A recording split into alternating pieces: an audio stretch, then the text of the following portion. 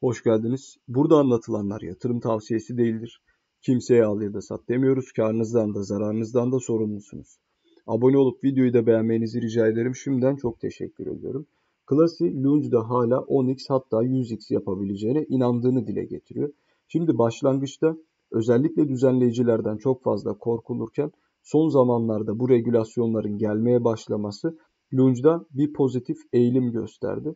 Bunun sebebi Lunge ve USTC bunun sebebi olmasına rağmen sonucu konusunda herhangi bir yaptırıma uğramaması.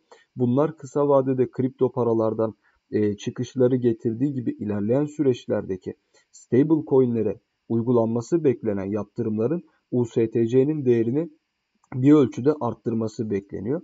Yine beraberindeki e, yaptırımlar arkadaşlar özellikle Lunge'a değmemesi dolayısıyla piyasadaki korkan yatırımcının e, bir ölçüde orta vade hareketleri yapan Lunge'a kayması beklendiğinden ilerleyen süreçte gü e, güçlü yükselişler yapabilir bundan kaynaklı. İzlediğiniz için çok teşekkür ediyorum. Abone olup videoyu da beğenebilirsiniz. Bol kazançlar dilerim izleyen herkese. Hoşçakalın.